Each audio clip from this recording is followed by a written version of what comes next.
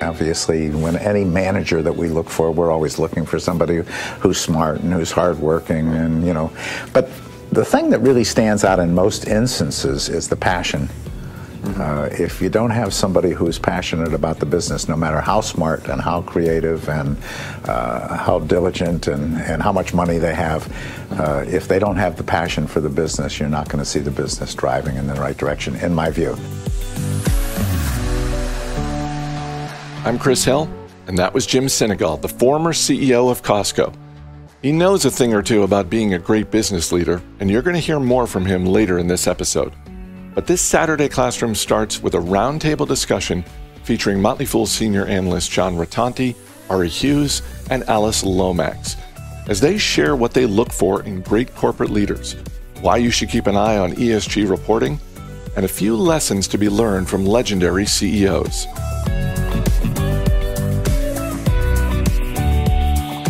Hi, fools. I'm John Rotonti, and I'm here with Alyce Lomax and Auri Hughes, and we're going to be talking about how we evaluate corporate management teams. Hi, Alyce. Hi, John. How are you? I'm doing great. Really excited to talk about this important topic with you. How you doing, Auri? I'm good, John. How are you? Doing great. Doing great. So, Alyce, uh, over to you first. You're sort of our uh, in-house guru when it comes to honestly evaluating good uh, management teams and and healthy corporate culture. So, what do you look for in a CEO and her corporate leadership team? Oh, thank you so much. Um, I don't know if I'm the guru, but um, I do definitely enjoy looking at management teams and trying to get a good sense of corporate cultures. Um, one thing that I really do like to focus on, and it and it often feels like a softer side of things, but is to try to look at how corporate managements handle stakeholder issues. Um, areas like environmental, social, and governance issues. Um, you know, a company that has a good sustainability report that you know, exhibits a lot of the things that it's doing on the employee side, on the environmental side. Um, that goes a long way um, in giving me a sense of a, a, corporate culture. And of course, you know, I love to read news articles about CEOs and and you know look at areas like best places to work lists and so forth to try to get an idea of whether it's a healthy culture. That, that, that makes so much sense, and it's not just a moral judgment type of analysis, but it can also be good business, right? Like if an, if a company is treating its stakeholders well, including its employees, um, those employees will be more passionate about the business, right? They'll be more engaged. They'll be better ambassadors of that business, which can drive growth, for example. Or if a company is trying to limit the the damage that it's doing to the environment, that can also um, help them mitigate risks in the sense of regulatory risks, in the sense of fines they may have to pay for polluting the environment. So it's also good business, right, Alyce? Absolutely. Um, it's absolutely great business. One of my favorite examples over the years, is Costco, which has been known for treating its employees really well just an amazingly well managed company. Um, I also think that you know managements that look into these areas um, are showing um, a lot of imagination and a lot of innovation to be able to come up with new products in the future that address issues or mitigate risks. Um, exactly like you say, it is incredibly good long term thinking that goes into looking at those issues. Yeah, and and before we go to Auri, just that that imagination and that innovation and that creativity that you're talking about, that drives growth, and that will drive. It could drive business value over time. So yeah, definitely. Auri, what about you? What do you look for when you're evaluating a CEO and a management team? Yeah, so um, from the CEO and management team perspective, I kind of have two categories. Um, and I think the first is kind of the standard, like hired gun, someone who's worked in the industry, um, very professional or has a good resume. And then the second one is, I think, kind of the founder led or uh, someone that owns a big portion of the business um, and is looking to solve a problem. They're very unique, uh, they're customer focused, almost obsessed on the product. Um, and you just kind of recognize after you see a few these folks that they're a lot different than probably the standard management team. So people that are interesting. Um, and I've learned from uh, Tom Gardner on this, kind of working with him on Everlasting, some of the things he looks for is. Um, how focused is that leader? Um, how passionate is that leader? Is that someone uh, they'd want to spend time with? So trying to under, better understand those nuances um, in leadership and being observant. Is this an interesting person? Um, is this a really unique? Is this someone like a Bezos or Tobi Lütke? Um, so those are the type of things I'm starting to look for. That's that. That's awesome. Um, I actually created a framework um, and published it on Fool.com. Uh, I don't know, a couple years ago, maybe. Yeah, 2019. And I called it the four C's, as in the letter C. I try to really simplify my framework down for myself.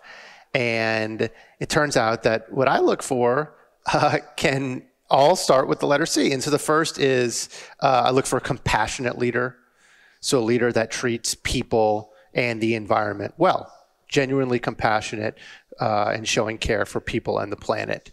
Uh, I look for a candid leader. That's the second C, right? A leader that um, shares, uh, that is just as transparent about what is going wrong with the business and the things that they need to maybe fix or course correct on as they are about what is going right with the business. So candid was my second C. And then capable was my third third C. Obviously, I want a, a, a business leader that is very capable at operating the business, at cap, capital allocation, which is different from operations, at building great teams, at you know at attracting and retaining talent, at all of these things. So highly capable was the third C. And then the fourth C was committed. And that goes back to what Alyce was talking about. You know, committed to running the business with a long term perspective, committed to taking a stakeholder approach to value creation as opposed to a strict um, shareholder approach, committed to understanding systems thinking and that decisions that leadership teams make have consequences, both good and bad, not only for their company, but for all of their stakeholders, for society, for the communities in which they operate in, and possibly for the planet. And so those four C's compassion, candidness, capable, and committed are kind of how I simplify down the framework that I look for. And then those four C's could honestly lead to two more C's because those four C's could create the culture of the company, which is a fifth C. And then also, I think those four C's are what ultimately lead to compounding of business value. And so, yeah, I look for compounding CEOs. So that's just a fun little simplified framework that I've used to think about uh, leadership. Alyce, what do you think about that? Am I am I completely off my rocker? Or am I onto something? No, you are completely onto something. And I was just going to cut in and say everyone should go Google that article and read it because I remember reading it and thinking it was amazing and so well put and well distilled. Um, and I love your point about systems thinking like that is that is huge and again it goes into that imagination the creativity the ability to you know kind of figure out different outcomes and go for the best ones. Um, but yeah, that is that is an amazing framework and a great way of looking at it. I got that systems thinking framework from you, so I appreciate that. Go ahead, Auri. One thing I want to mention too, I think Alyce was uh, mentioning like the the best places to work. So Glassdoor does a annual like kind of list of best places to work, right? And I and I check on it, and it's amazing because a lot of these are some of the best stocks. So, so looking at their 2022 list, Nvidia, HubSpot, Bain and Capital, EXP Realty, Google, Lululemon, Salesforce, a lot of these companies are winners and have historically been winning stocks. So I think there's definitely something there to uh, keep exploring about how happy the employees are, whether they're content,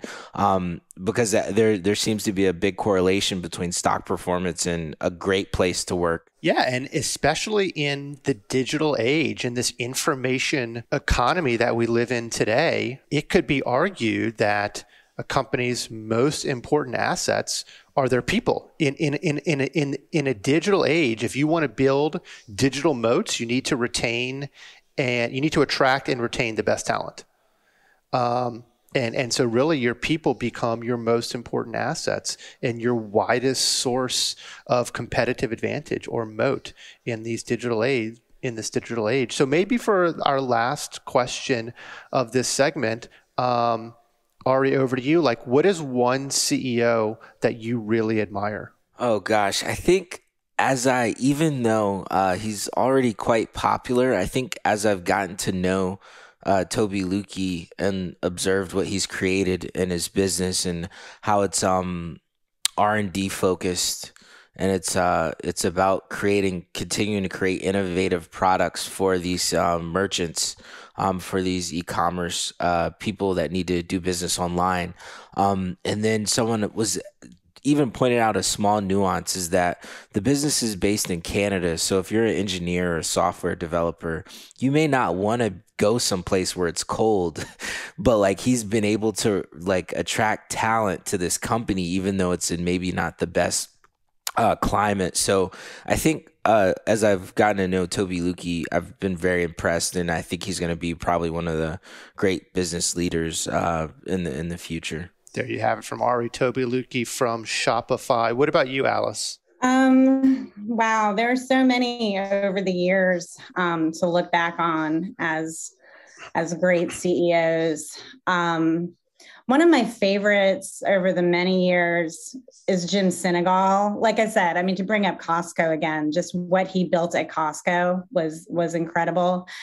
And you know, even though Howard Schultz is no longer at the head of Starbucks, like he's one of my all-time favorites as well. I just feel like they both did a really great job of setting up really stakeholder-centric businesses. I, I would agree. And you know, you you mentioned Sinegal um, and what he built at Costco. Um, you know, we should mention that Craig Jelinek, the current CEO at Costco, has really picked up that torch and and he's he's carrying that torch high. He's doing really really good things at Costco that one has, you know, I don't know, looking back on many, many, many years, like that one has been just a truly great performer and just such a well managed company. So I'll tell you another great succession story before we end. Julie Sweet, um, the CEO at Accenture.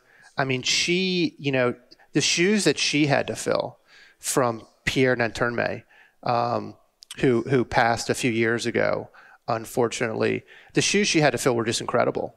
Um, and she, Julie Sweet, is doing an incredible job at Accenture. Um, I think y'all all know that I love Craig Menear at Home Depot. Um, he's actually retiring very soon, and you know, well-deserved retirement. And then I'll just throw out one last one: Rich Templeton at Texas Instruments.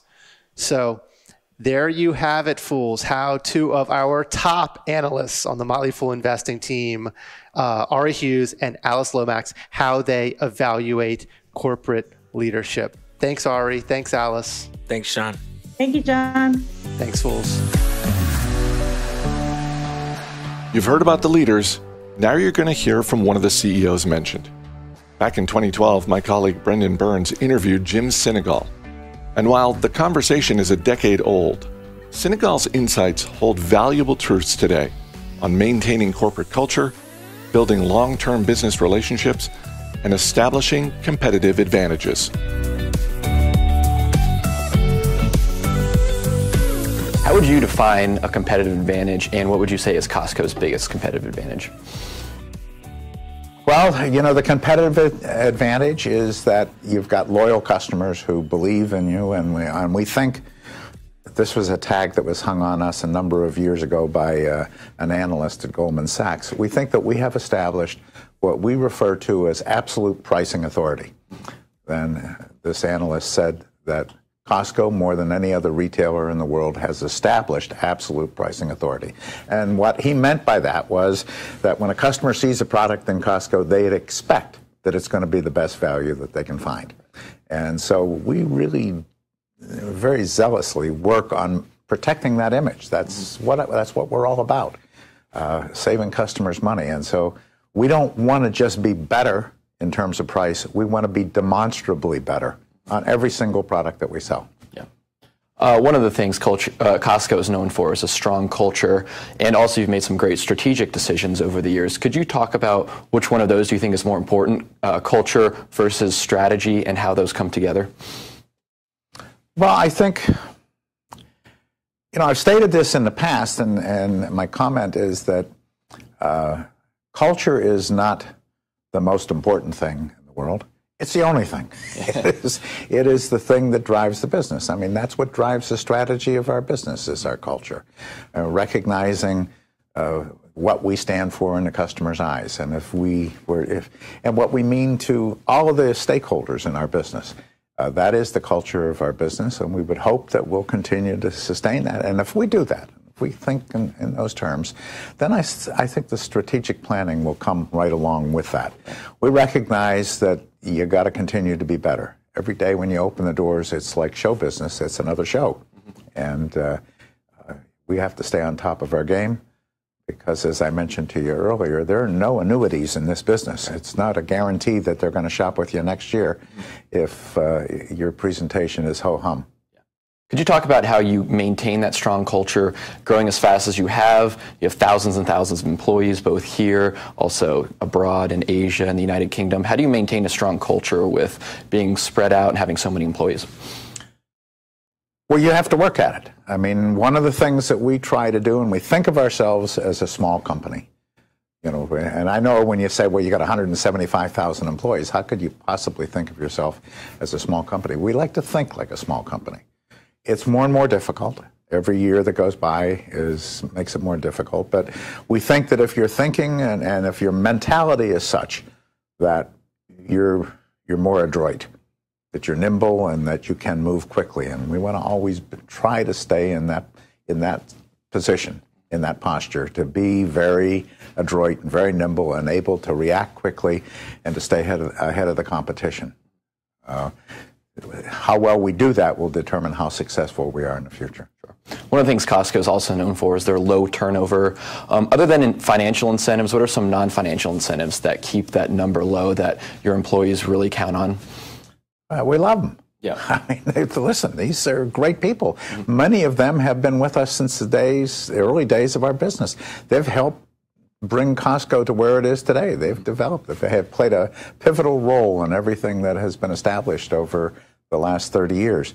So we want to keep them. We want to stay them to stay with it. We want to turn our inventory, but not our people. And and uh, part of that is, you know, people are happy with a job for more reasons than money.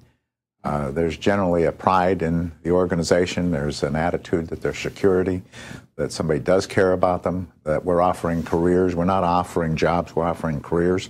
Anyone who wants to become uh, an officer of our company has that opportunity available to them. You know, one of the greatest satisfactions that I think if you were asked, though, many of us who have been here in management, one of the greatest satisfactions is to see young people who started working with us, who maybe were college students and were chasing uh, shopping carts out in a parking lot, who have advanced to the point where they're senior managers of our company. That's a great feeling to, to see that. One of the things that we love at the Motley Fool is strong leadership, uh, great management. We actually name all our conference rooms out of different leaders that we admire. You actually have one at our headquarters. Could you maybe give us a couple other business leaders that you admire and why and what they do right? Well, sure. I mean, you know, the, I'm going to give you the obvious answers because they're the, you know, the people that come that pop into my mind mm-hmm. immediately. And you admire different people for different reasons. But, uh, you know, Warren Buffett clearly just jumps right off the page right. there, and, and, his partner Charlie, who's uh, uh, Charlie Munger, who's on our board. Uh, but you know, Tony James, who is also on our board, is somebody that I admire greatly. I mean, I really have a tremendous amount of respect for him. Um, I had an, an, enormous amount of respect for Steve Jobs. I mean, uh, that uh, the genius there was just incredible, and to see that, to see the performance there was really something. So, there are lots of very significant people out there uh, who do great jobs. I, you know, I don't know uh, Frank Blake at uh, Home Depot, but I sure like the numbers that I'm seeing out of that business, and I and that was a turnaround situation. It was mm-hmm. one, you know, company that had started to slide a little bit, and uh, I think he's not only done a good job, but you can generally tell when people talk well about the boss that right. something was going right right there. What do you think are some common traits or characteristics that these CEOs have? Maybe an investor out there is looking at a lesser known CEO and they want to say, hey, what are some great CEOs? What kind of traits do they have that you can emulate and look for in a company that might have a great leader? Well, I mean, it's always the same thing. Obviously, when any manager that we look for, we're always looking for somebody who's smart and who's hardworking, and you know. But the thing that really stands out in most instances is the passion uh, if you don't have somebody who's passionate about the business, no matter how smart and how creative and uh, how diligent and, and how much money they have, uh, if they don't have the passion for the business, you're not going to see the business driving in the right direction, in my view. Right. So I would always look for that. Uh, you know, you want those other traits clearly, mm-hmm. uh, but you need somebody. Jamie Dimon is another guy who I think is a really right. good manager. I know he's gone through a little bit of a hassle here, but he seems to have come through it yeah. pretty well. And I mean, I think, I think he's I, I, think he's an extraordinarily bright guy. Mm-hmm. Could you talk about all the stakeholders of Costco and how you balance the different needs, be it employees, customers, suppliers? How do you balance those needs? They can be diverging at times, but are any more important than others? And what, what do you think about that? You know, our philosophy, Brendan, has always been that we've got essentially four things to do in our business. We have to obey the law, we've got to take care of our customers, take care of our people, and respect our suppliers. And we think if we do those four things, pretty much in that order, that we're going to do what we have to do in the long term, which is to reward our shareholders. We think it's possible to reward them without paying attention to those four things, but we think uh, in a short term. But if you don't pay attention to them in the long term, we think you stub your toe somewhere along the line. And uh, you know, we we could have sold this business. Uh, Jeff and I, when we started, could have sold it dozens of times, I'm sure. Probably couldn't any longer because it's, uh, and we don't want to. Right. but we never had an exit strategy. That was never part of the equation. We wanted to build an organization that was going to be here 50 and 60 years from now. We thought we owed it to all of the stakeholders in our business that they that they have that assurance, including the suppliers. You know, suppliers are, are investing money to take care of our business. They've got families also working in their organization that uh, if we were to stop buying from them would be out of business uh, that or, or, would be out of jobs. Uh, we think that we have an obligation to be fair to those uh, individuals and to be concerned about the stakeholders. And they are definitely a stakeholder in our business.